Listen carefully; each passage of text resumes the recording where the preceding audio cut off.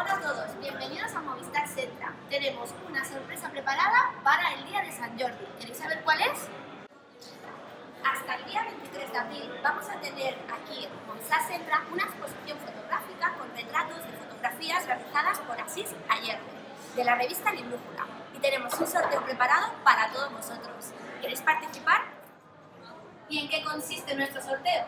Tendremos expuestas las fotografías por toda nuestra tienda y vosotros tendréis que venir aquí adivinar cuál de estas fotografías se ha realizado desde un móvil y no desde una cámara profesional.